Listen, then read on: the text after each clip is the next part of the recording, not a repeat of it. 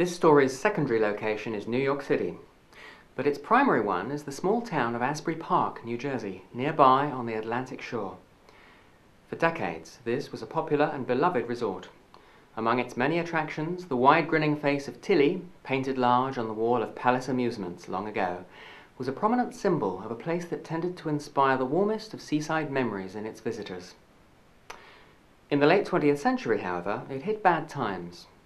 So much so that the eastern part of it, including the ocean front with its long and once bustling boardwalk, became largely deserted, in some areas almost a ghost town.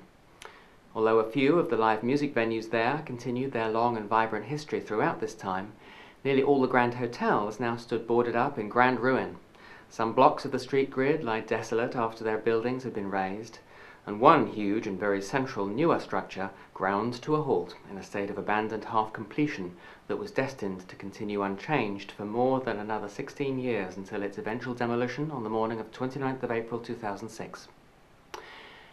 The complex reasons for this decline may be read about in print and online, as well as accounts of the happier days that preceded it the relevance of Asbury Park to The Imagination Thief is that the book was conceived and begun while I was staying there, for two separate periods of one week each, in 2000 and 2001, visiting from New York.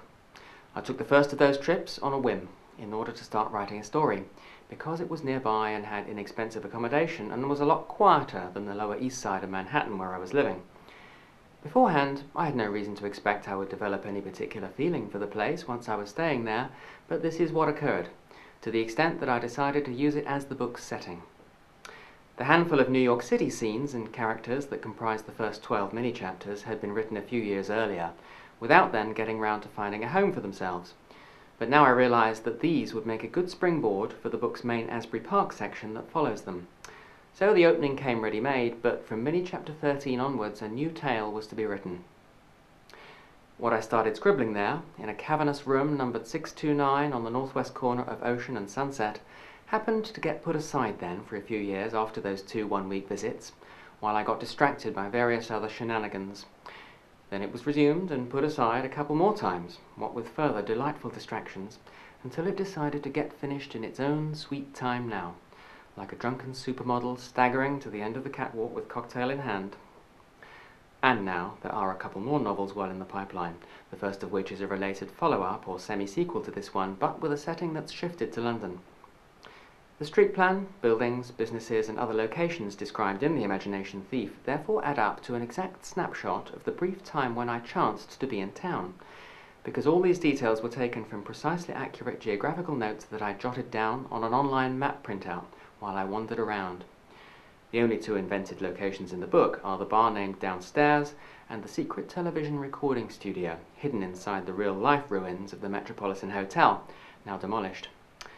Since then, I've read that many structural elements have changed, but I've not had the pleasure of going back there, so I haven't seen them. I was aware at the time, of course, that the town wasn't looking its best. Yet the spirit of the place transcended this, and I found myself joining the ranks of those whose affections for it remained intact despite its ragged edges. Inevitably, my affections partook of this very aspect of it, but they were neither ironic nor sentimental, they were just there. Since Asbury Park is an authentic cultural icon, and therefore inspires many people to feel protective of it as a widely shared symbol and plot of socio-historical ground, I was also aware that there was a certain cheekiness in my finding it so natural to use it as a setting when I hadn't lived there and hadn't known its better days. From my descriptions of it, however, my affection for it is obvious, I believe. And in any case, something tells me the place will survive my cheek just fine, thank you. I was aware, too, gazing up at the resonantly silent Tilly on the Palace Amusements wall, late one night at the desolate far end of Cookman Avenue, with the Atlantic Ocean booming on my left, that perhaps there was also an element of strangeness in pairing Asbury Park with the rest of the Imagination Thief.